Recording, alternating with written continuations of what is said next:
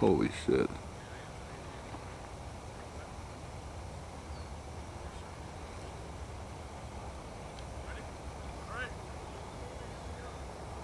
Just get him to fly past you.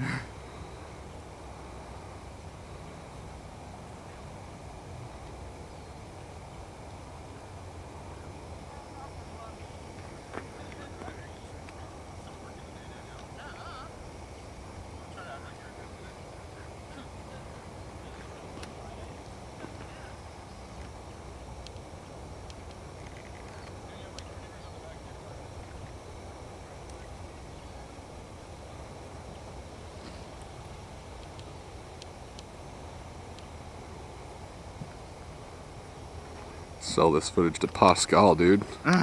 Check this out. Nice.